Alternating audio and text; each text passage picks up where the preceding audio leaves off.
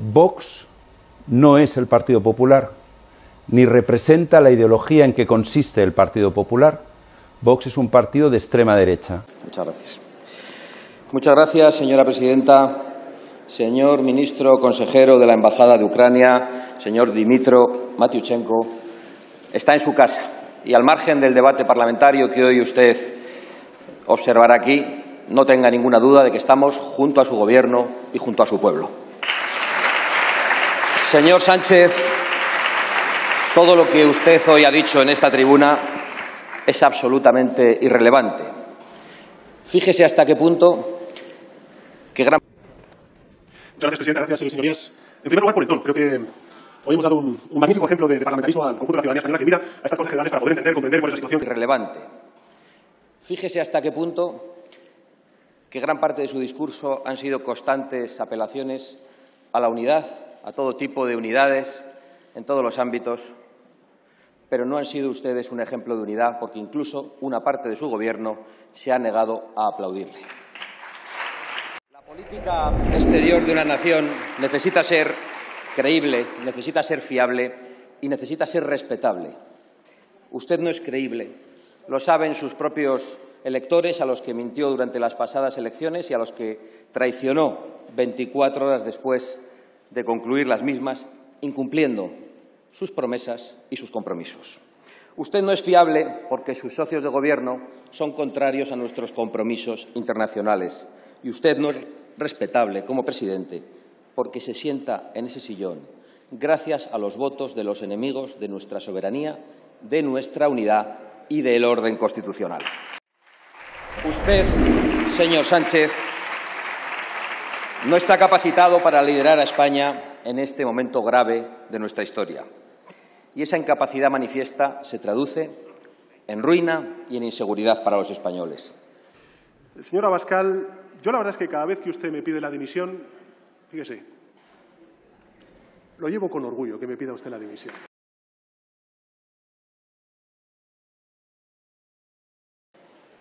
El señor Putin es culpable de una gravísima violación del derecho internacional.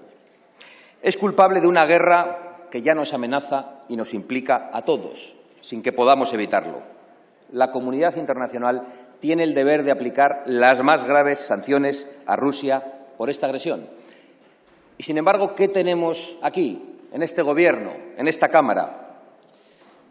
Señora Lastra, que no está en estos momentos, señora Montero, señora Belarra, señor Pisarello, señor Enrique de Santiago, que permanecía aferrado a su sillón para negarse a aplaudir por el envío de armas, todos ustedes son cómplices directos de esta agresión de Rusia contra Ucrania.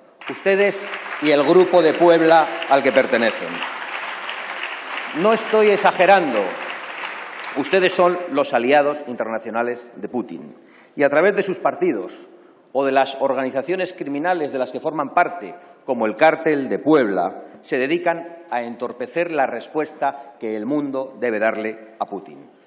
Lo hace Podemos, que desde el año 2014 lleva repitiendo que los gobiernos ucranianos son neonazis, tal y como literalmente dice la propaganda rusa. Lo hizo ayer el hasta hace cuatro días vicepresidente, que yo creo que sigue teniendo mucha influencia y mucho mando en este Gobierno, que ha protestado porque se arme a la población civil cuando hace poco decía que un pueblo desarmado es un pueblo esclavo. Lo hace Izquierda Unida y Bildu, que ayer mismo votaron contra Ucrania en el Parlamento Europeo. Lo hace el Grupo de Puebla del que ustedes forman parte, que está aquí, en este hemiciclo y en este Gobierno, pidiendo que no se pongan sanciones y lo hacen sus partidos, manifestándose justo en este momento contra la Alianza Atlántica.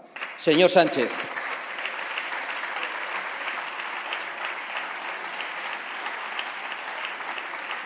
todos esos aliados de Putin que acabo de nombrar están en su gobierno o apoyan a su gobierno.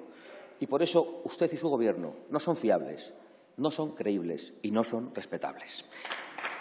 Y lamento comunicarle, señor Sánchez, que no es solo mi opinión, porque me consta que esa desconfianza hacia usted ya se ha instalado en varias cancillerías europeas. Y esa es una humillación que España no puede permitirse. ¿Está usted tan acostumbrado a darnos gato por liebre, a nosotros y a sus votantes, en esta Cámara también, que piensa que nuestros socios europeos van a admitir sus trucos de magia y sus fuegos de artificio. Y por eso a usted ya ni le invitan, ni se le ponen al teléfono, ni le agradecen las llamadas y sus cumbres internacionales duran 30 segundos. Sobre la confusión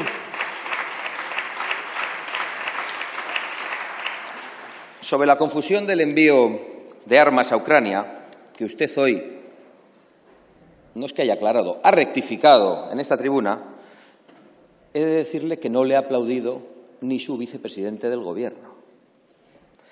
No creo que eso sea muy tranquilizador para nuestros socios internacionales. Igual que al terminar su discurso han mostrado una unidad tan grande, unos aplaudían de pie, otros aplaudían sentados y otros se agarraban al sillón sin aplaudir. Señor Sánchez, sus socios no quieren que envíe armas a la resistencia de Ucrania. Quieren que nos limitemos a enviar cascos y tiritas y que les digamos a los ucranianos que aguanten el chaparrón, porque su gobierno quiere estar y está en dos sitios a la vez, con los agresores y con los agredidos, con Putin y con la OTAN. Y eso no es posible, señor Sánchez. Hoy este Congreso debería dar un apoyo unánime a un presidente de Gobierno capaz de defender nuestros intereses, nuestras alianzas y nuestra seguridad.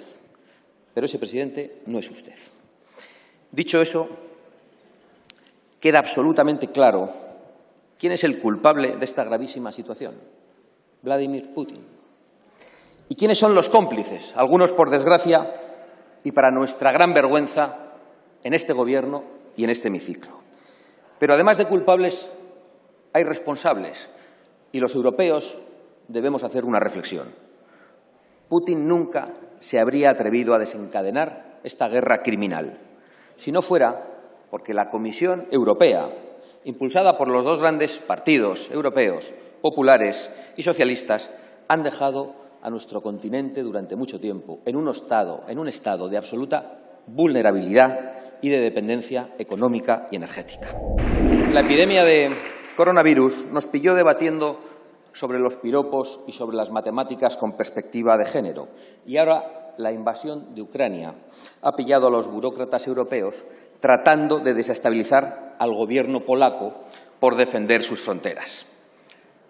El señor González Pons, del Partido Popular, que ahora amenaza con regresar a la política nacional, cuando nuestros aliados polacos enfrentaban la avalancha de inmigrantes que le lanzaba un títere de Putin, Bielorrusia, viajó a Varsovia, no como miembro de su partido, sino al frente de una delegación europea con la intención declarada ante los medios de comunicación de combatir al gobierno polaco. No se podía hacer un mayor favor a Putin. Ustedes, casi todos ustedes en esta Cámara, han criminalizado a Polonia sistemáticamente, semana tras semana, que es la nación que más se ha atrevido a advertir sobre la amenaza de Putin y que más se ha enfrentado a él. Y que ahora mismo vuelve a dar ejemplo, no solo apoyando a Ucrania sin reservas, sino también acogiendo a cientos de miles de refugiados. Porque estos sí son refugiados de guerra. Esos, mujeres, niños y ancianos, sí deben ser acogidos en Europa. Cualquiera puede entender ahora perfectamente cuál es la diferencia entre esos flujos de refugiados que hay ahora y las invasiones de jóvenes varones en edad militar y de origen musulmán que se han lanzado contra distintas fronteras de Europa en un intento de desestabilizarla y de colonizarla.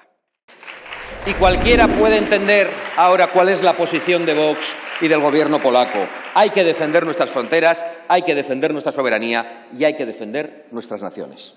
Y para eso debemos tener la capacidad militar suficiente y la energía suficiente y la industria suficiente que garantice nuestra libertad y nuestra independencia. Es decir, todo lo contrario de lo que ustedes, casi todos, llevan décadas promoviendo en nombre del buenismo, de la religión climática, del pacifismo estúpido o de cualquier otra ideología suicida que ha puesto a Europa en manos del gas ruso, de la industria china y del petróleo de teocracias islamistas.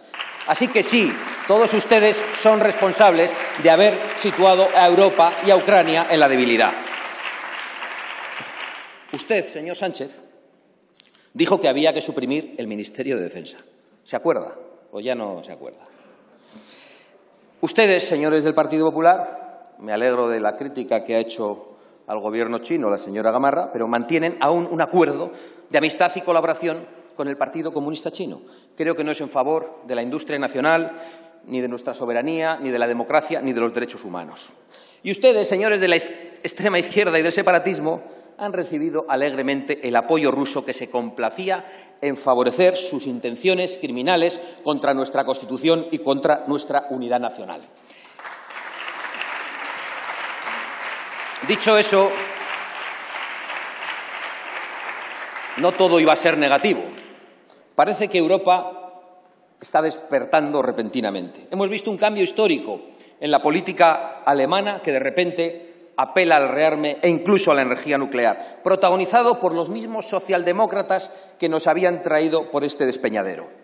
Durante un tiempo parece que al menos se van a aparcar los desvaríos globalistas, la obsesión de género que se debatía en la última cumbre de la OTAN y los dogmas de la religión climática. Ahora sí, saben, en Francia, en Alemania y en Italia, que hay que volver a potenciar nuestra capacidad energética, incluyendo la energía nuclear e incluso la térmica. No hay más que ver los programas energéticos en estos momentos de Francia, de Alemania y de Italia. Mientras aquí cerramos centrales nucleares y volamos las centrales térmicas. Ahora sí, saben que hay que fortalecer nuestros ejércitos, lo sabemos de repente. Ahora sí saben que nuestra seguridad, que nuestra salud, y es importante decirlo, que nuestro bienestar no pueden depender de regímenes totalitarios, comunistas o islamistas o simplemente de sátrapas como Putin. Pero usted, señor Sánchez, no parece dispuesto a despertar del sueño progre. Pretende continuar un rumbo que ha quedado desacreditado por la realidad y por la historia. Y ese es un problema porque usted todavía tiene una gran capacidad, pero una gran capacidad de hacer daño a España. Hay que cambiar el rumbo. Hay que entender y adaptarse a las nuevas realidades que conforman el mundo de hoy. Hace solo un mes celebramos la cumbre de Madrid, señor Sánchez, no eso que va a celebrar usted dentro de no sé cuánto, la cumbre de Madrid, a la que asistieron primeros ministros y representantes de más de diez países europeos.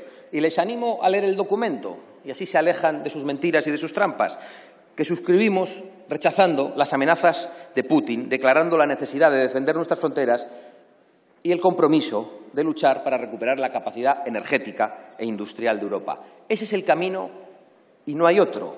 Podrán todos ustedes demorarlo más o menos, pero acabarán dándonos la razón, no tengan ninguna duda. Y ya había algunos atisbos en su intervención, señor Sánchez.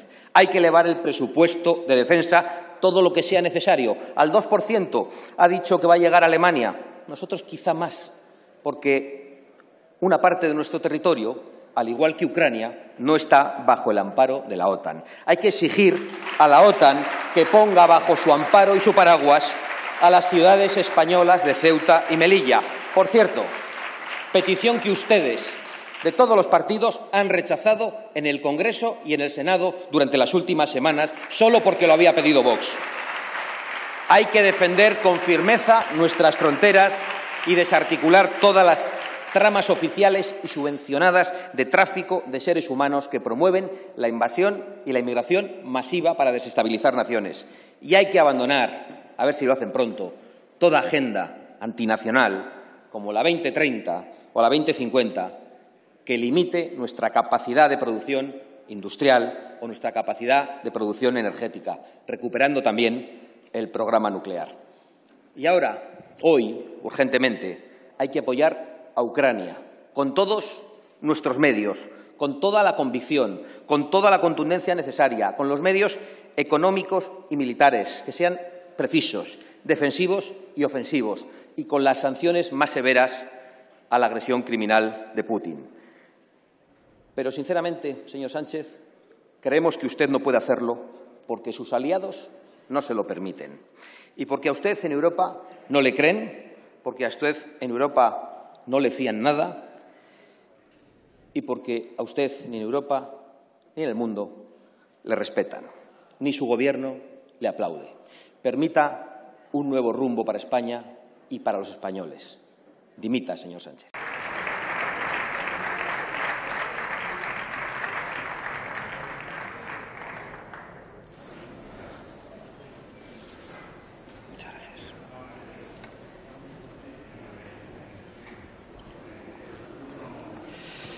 Señor Sánchez, reconozco que no puedo evitarlo.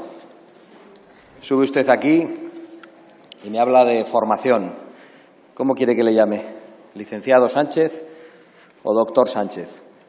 ¿O son ambos títulos tan fraudulentos como su presidencia del Gobierno? He de decirle con preocupación, entiendo que es un despiste, que ha perdido usted hoy una muy buena ocasión, hablando de fronteras, de seguridad, de lo que está ocurriendo a nuestros compatriotas en Melilla en este mismo momento. Mientras usted intervenía a las nueve y media, la valla de Melilla ha sido asaltada por dos mil personas ilegalmente que han pasado por encima de nuestros guardias y de nuestros policías. Probablemente porque otro sátrapa, en esta ocasión el de Marruecos, ha percibido una vez más la debilidad de nuestro Gobierno y de nuestras instituciones, igual que Putin. Es un buen momento que usted ha desaprovechado para plantear que también en España tenemos serios problemas y que nuestro propio ejército podría desplegarse en nuestra frontera sur, en Ceuta y Melilla, para defender la integridad territorial y la seguridad de nuestros compatriotas, aunque a usted le dé la risa.